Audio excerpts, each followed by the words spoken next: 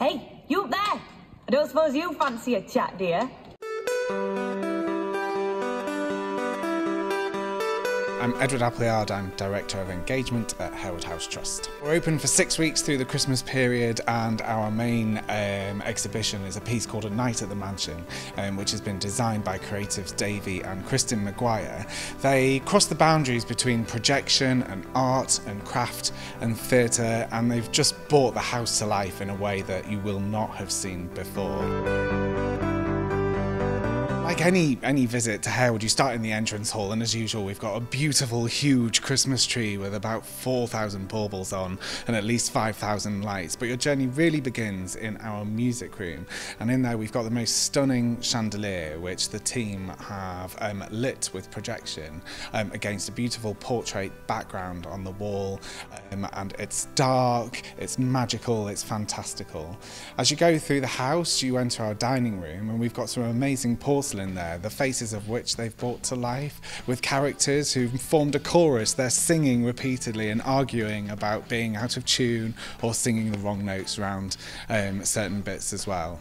Another highlight for me is the ceiling in our yellow drawing room, which is just absolutely incredible. We've got the most beautiful ceilings here at Harewood House, and um, they've lit it in beautiful lines, and it's an immersive experience. So we put loads of rugs and bean bags on the floor so people can really take some time to enjoy it. We were invited around um, to scope out the building, see what we could do here. And the first thing that we noticed was just how beautiful it is already um, and how um, picturesque and how detailed everything is and how artful the the craft is in the building.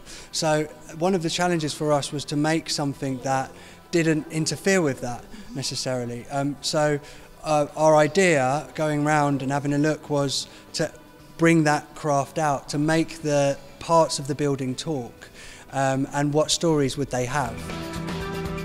It's a piece that you really need to come and see because it's very hard to describe, but you will see paintings talk, statues talk, portraits gossip about each other.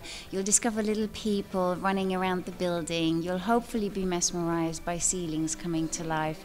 But describing it won't do it any justice.